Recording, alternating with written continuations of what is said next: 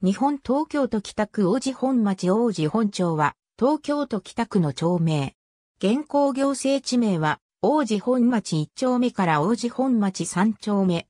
住居表示施行地域である。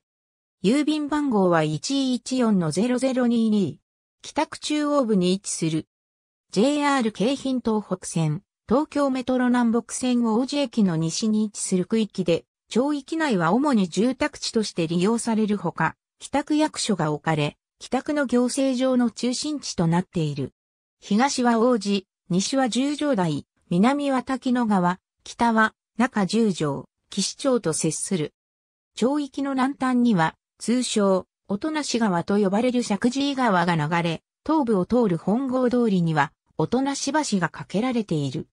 一丁目に、北区役所、北区公会堂、順天中学校、高等学校、音無浸水公園、王子地域包括支援センター、王子神社、新州大谷羽貝徳寺、二丁目に、区立王子第二小学校、三丁目に、都営王子本町三丁目アパートがある。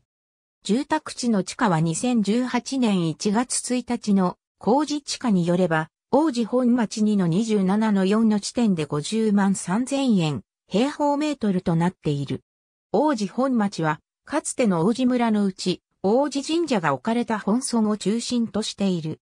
後に、北豊島郡王子町大あざ、王子、東京市王子区王子町となるが、1939年に王子区王子町の大部分が下十条町の一部と、共に王子一丁目から五丁目となる。しかし、王子町の内後に、王子本町を構成する地域は、王子町として残り、帰宅発足後もそのままであった。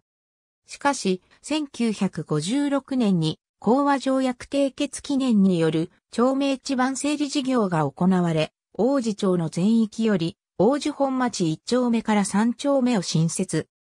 さらに1966年11月15日の住居表示時に王子本町1丁目から3丁目の全域と、下十条町の一部により、現在の王子本町1丁目から3丁目が形成される。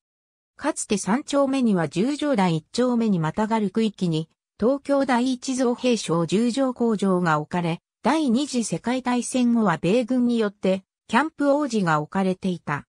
1972年には返還運動が起こり、北区立中央公園の一部や都営王子本町三住宅などになっている。王子神社が所在し、王子村の本村であったことから、王子本町とした。1939年以前は、王子を参照。2017年12月1日現在の世帯数と人口は以下の通りである。区立小中学校に通う場合、学区は以下の通りとなる。ありがとうございます。